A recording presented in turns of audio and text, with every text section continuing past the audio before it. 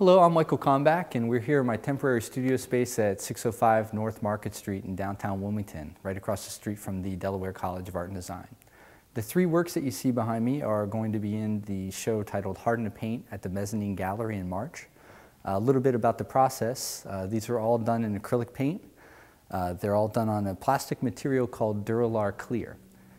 This uh, plastic is then wrapped over fabric that is stretched on the stretcher strips in this particular uh, exhibition, all the fabric is a sequin fabric of a variety of different colors that's really translucent. So all the text in this work, like the title of the show, Harden to Paint, Chrysler Plant, different political names, they're built up in a clear gloss medium. And acrylic paint that's mixed with the water-based polyurethane is then poured through this text, making the final image.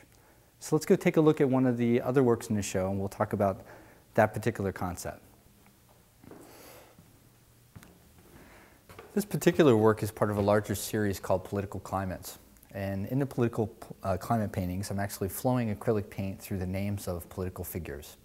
With this particular work, and more uh, of it in this show, I'm flowing the paint through all the Delaware governors over the past 30 years.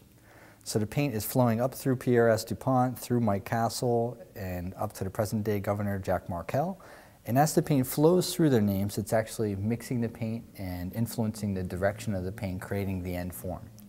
So I see these works as a metaphor for the actual lands political landscapes and the actual physical structures that these figures create through legislation. So to see more of these works, we'll see at the Mezzanine Gallery in March on First Friday.